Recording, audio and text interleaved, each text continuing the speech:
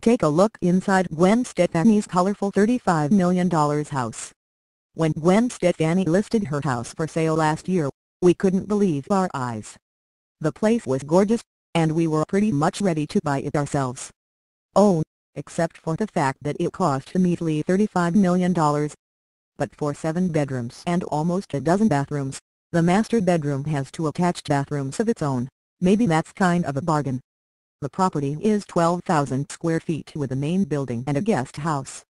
Want to peek inside? Watch the video below to take your own tour of Gwen's home. The house doesn't just have a ton of bedrooms and bathrooms, though. It also has that gorgeous pool, the playground, and tennis court. And, of course, the chicken coop, just in case you need one. Gwen and her ex, Gavin Rossdale, bought the place together back in 2006, and before that, it belonged to Jennifer Lopez.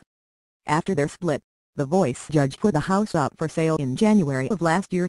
You can check out the listing on the real estate website Trulia to see even more photos.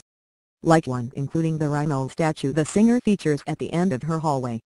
As of this year, it seems like Gwen, her boyfriend Blake Shelton, and her three kids are still living it up in the mansion.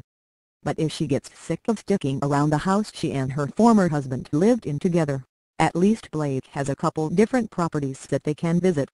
Like his Brentwood, TN Mansion, his condo, or his ranch in Tishomingo, okay, where he's brought the pop singer and her kids to visit before. Wearing Warrington in Oklahoma is definitely a change of scenery from her enormous home gym, all marble bathrooms, and home movie theater. But, hey, we're sure the rich girl singer loves having the choice between the glamorous life and the rustic outdoors.